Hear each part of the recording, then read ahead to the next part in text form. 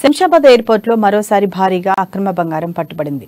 Riyadh నుండి శంషాబాద్ ఎయిర్పోర్ట్కు వచ్చిన ప్రయాణికుడిని customs అధికారులు అదుపులోకి తీసుకున్నారు. నిందితుడు అరవై ఏడు లక్షల విలువైన ఒకటి పాయింట్ రెండు వందల ఎనభై ఏడు గ్రాముల బంగారాన్ని పద్నాలుగు కడ్డీల రూపంలో అత్యవసర లైట్లకు వాడే బ్యాటరీల్లో దాచుకుని తీసుకొచ్చినట్లు అధికారులు గుర్తించారు.